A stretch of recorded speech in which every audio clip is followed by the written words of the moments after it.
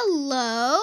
Uh, this is a tutorial on how to uh, screen record on like iPad and iPhone.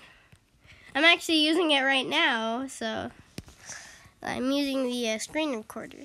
So all you want to do is just go to Control Center and then customize controls, and then uh, you see these minus things well, that's the stuff that you have included.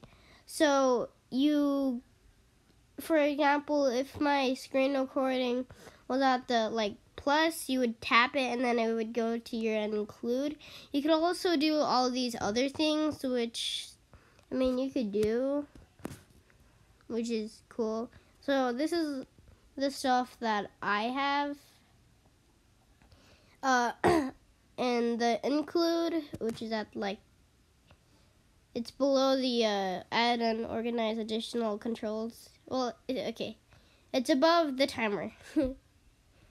but yeah, that's what I have included, and then more controls is what you can like uh, add. So uh, yeah, that's how you do it now.